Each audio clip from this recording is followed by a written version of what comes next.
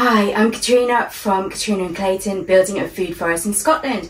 We have something a little bit different for you today. We have our temperature blankets that we did all of last year as a project. So a temperature blanket is just simply crocheting or knitting one row every single day to do with what temperature range there is.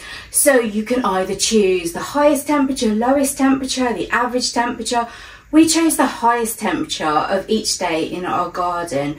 We had five different colours and we set each colour into a different gauge. So every time there was a temperature, we'll check what colour it was and then that is the day we would use to crochet. So we had five different colours. We had the white going into the grey, going into the dark blue, into the vintage peach, and then lastly with the mustard. Let's take a look and see what they look like, shall we?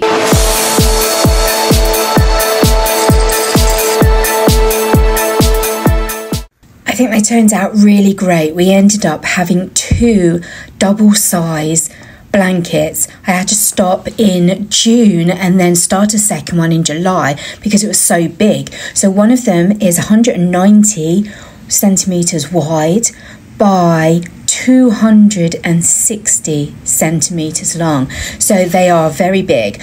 I used a 10 millimeter crochet hook, two strands of DK because I like using a thicker, chunkier wool, so I use the two strands with the bigger hook, which made the blanket very big. Not complaining, having two double size covers to put on the bed is fantastic. And you can see the five colors that we use.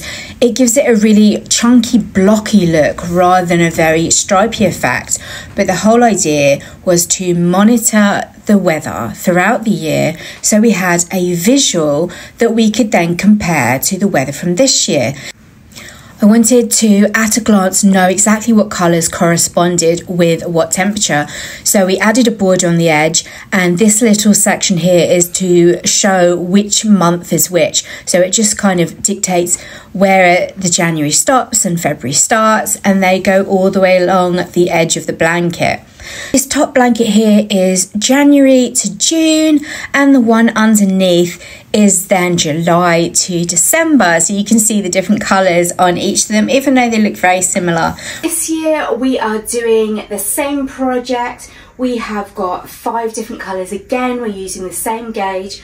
We've got the white and grey again because I had so much left of it and we've swapped up the last three colours. So we've now got a green, a light soft pink and then we've got a raspberry pink. So it's going to be great to compare them every year. This is January so far, so we can actually then compare it with last year's and see what it actually looks like. It's over on Instagram and we'll be posting monthly of our progress and how we get on each month and we will revisit this in six months time to see how far we've got.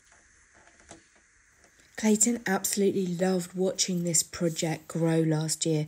So this year we're having him involved. We're having him fill out all the details in our Sowing, Growing, Weather and Seasons weekly garden record book. So he's able to be included in this. He can write in the highest and the lowest temperatures that I get to use each day and record the temperature blanket.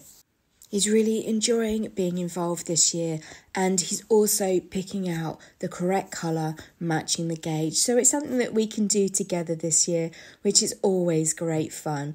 So this is our book available on Amazon right now.